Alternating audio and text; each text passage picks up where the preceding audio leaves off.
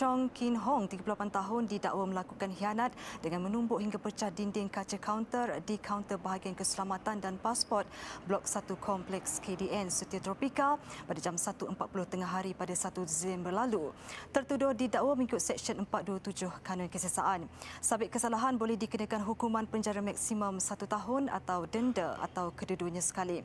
Mahkamah juga mengarahkan tertuduh membayar pampasan RM300 kepada pengarah Jabatan Immigration atas kerosakan dilakukannya itu. Tertuduh membayar denda. Pendakwaan dilakukan Timbalan Pendakwa Raya Farah Nabilah Muhammad manakala tertuduh tidak diwakili peguam.